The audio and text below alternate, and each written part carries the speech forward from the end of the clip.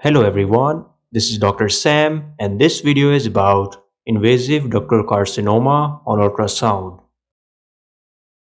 Invasive ductal carcinoma is the most common type of breast cancer. On ultrasound, it is often graded as BI-RADS 4 or 5.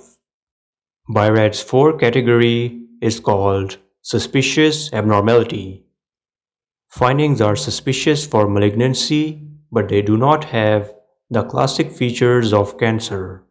The likelihood of malignancy is greater than 2% but less than 95%. BI-RADS 4 is further subdivided as 4A, 4B and 4C. 4A is low suspicion, likelihood of malignancy is more than 2% and less than or equal to 10%. 4B is moderate suspicion. Likelihood is greater than 10 and less than or equal to 50%. And 4C is high suspicion. The likelihood of malignancy is more than 50% but less than 95%. BI-RADS 5 category is highly suspicious for malignancy Findings have a very high probability of malignancy with the likelihood of cancer being more than or equal to 95%. We will compare the normal image of the breast on ultrasound with a suspicious breast mass which was later confirmed to be invasive ductal carcinoma on biopsy. This is a normal breast image in longitudinal plane the upper layer, the hyperechoic layer, is the skin. The second layer, this hypoechoic layer, is the subcutaneous fat. And below this fat layer is the mammary zone, which contains the fibroglandular tissue. It is predominantly hyperechoic. This fibrillar layer consists of chest muscles and behind the muscles are the ribs and the rib shadows. The retromammary zone is between the mammary zone and the chest muscles. Most of the breast pathology occurs in the mammary zone.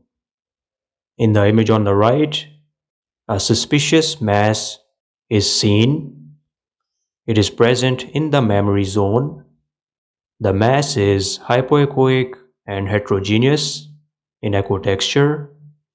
It has an irregular or spiculated shape and it has a taller than wide orientation which means the vertical measurement, the vertical dimension is greater than the horizontal dimension. All these features strongly indicate carcinoma. The heterogeneous echo texture is due to necrosis or fibrosis which occurs within the mass.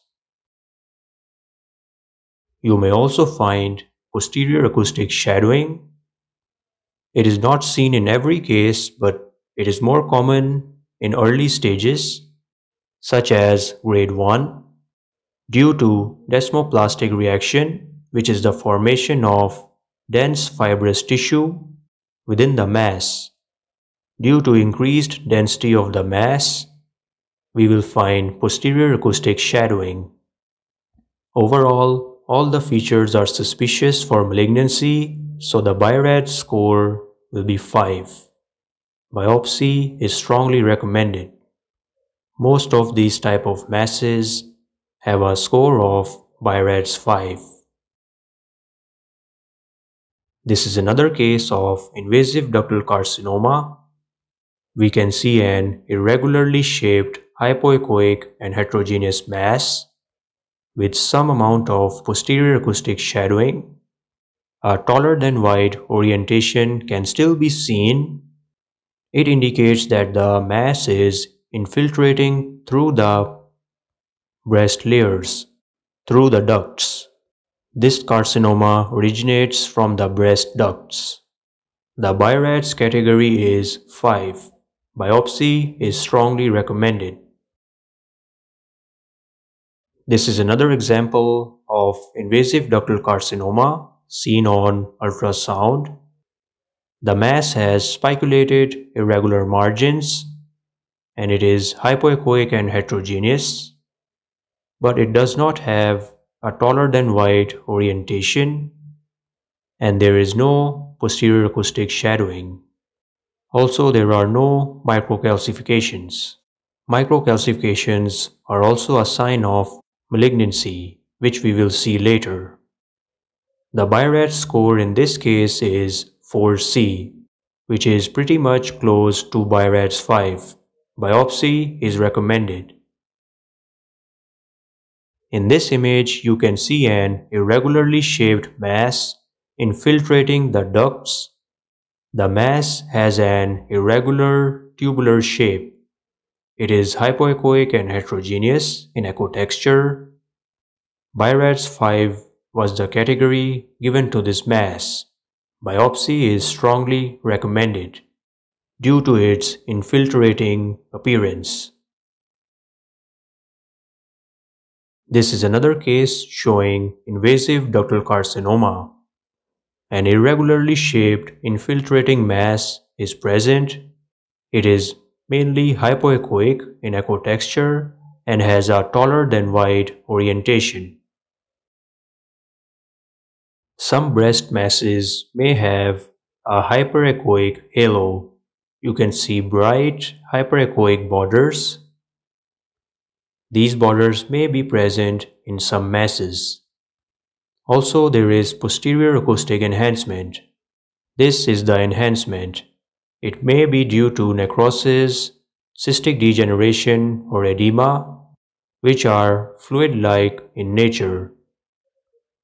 It is also a BI-RADS 5 lesion. Biopsy is strongly recommended.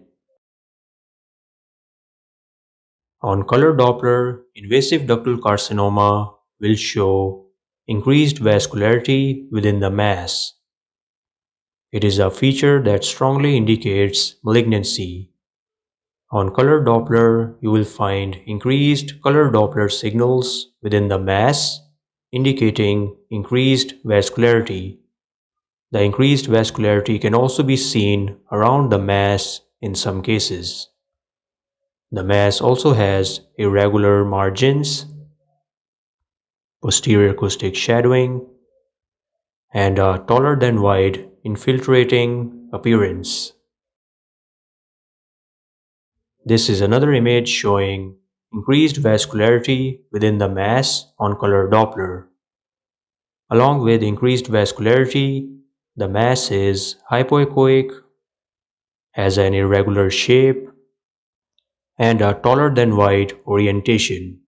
It is also classified as BI-RADS 5 presence of microcalcifications within a hypoechoic, heterogeneous, irregularly shaped mass is a strong sign of malignancy. The microcalcifications appear as bright dots, hyperechoic dots within the mass. These are the microcalcifications.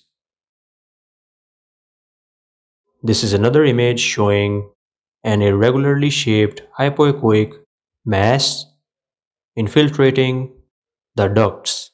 The mass has a tubular shape. It also has a taller than wide orientation. This mass was confirmed to be invasive ductal carcinoma. Thank you so much for watching. Please subscribe and stay tuned for more imaging videos.